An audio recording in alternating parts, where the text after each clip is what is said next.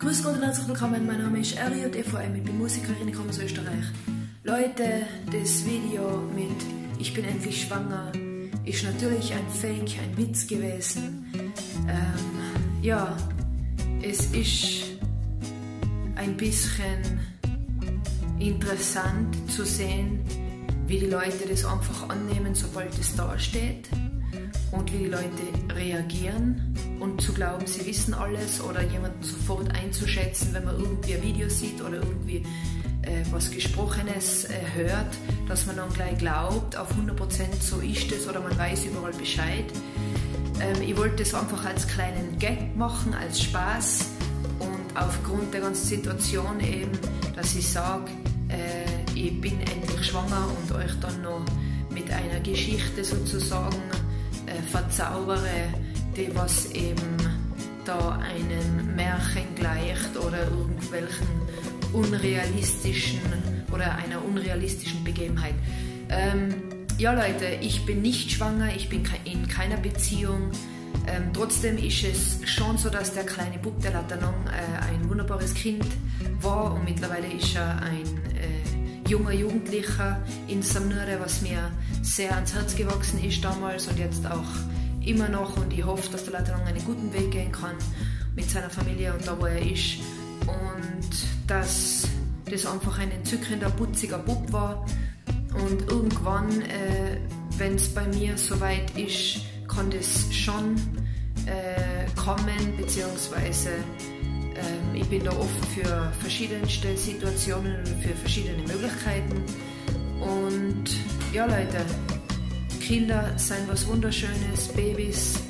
Äh, ich finde es wichtig auch, dass die Eltern und die Partner da ähm, gute Schritte und gute Entscheidungen machen können äh, für das Kind und für sich selber auch, um den Weg gut zu gehen. Aber nochmal Leute, es war natürlich ein Fake, ein, äh, ein Witz, ein Gag sozusagen, dass ich eben da ein bisschen euch veräppelt habe und gesagt habe, ich bin endlich schwanger weil das einfach so interessant ist in den Medien, ob man geheiratet hat, wie man geheiratet hat, wann man geheiratet hat, wem man geheiratet hat, ob man schwanger ist, ob man nicht schwanger ist, schwanger ist, wie man schwanger ist, wie man schwanger wurde, wo man schwanger wurde. Also deswegen habe ich mir gedacht, ja, dann mache ich halt sozusagen auch einmal so einen Gag und so einen Witz und, und muss das mal da sozusagen verpacken in irgendein Video mit Musik hinterlegt, mit einer verzaubernden Story und deswegen, also der Satz, den was ich am Ende gesagt habe, den, den finde ich eigentlich sehr realistisch und zu dem stehe ich. Das hat mal eine Frau gesagt bei uns in Tirol. Äh, die glaubt auch, dass sie ist die einzige schwangere Frau auf Gottes großer weiter Welt, also dass sie da irgendwie wer Besonderer ist. Ich meine sicher, es ist was Besonderes äh, für jeden Einzelnen, für jede einzelne Familie. Man kann sich freuen und hin und her, aber dass man dann glaubt, da keine Ahnung, wie eben, dass man da irgendwie der Einzelne ist von, von Millionen und Milliarden Leuten, das ist natürlich ein ein Wunschkonzert oder eine Einbildung oder eine Naivität oder eine Illusion.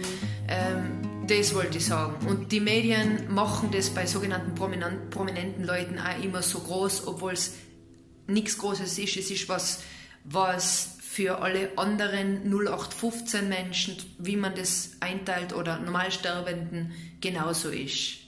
Ob jetzt der Prominente schwanger ist oder äh, diese Frau oder der Mann, äh, Entschuldigung, oder diese Frau oder der Mann halt ein Kind erwartet, sagen wir mal Papa wird, äh, von der Straße nebenan, das ist das gleiche schöne Geschenk, so wollte ich das sagen.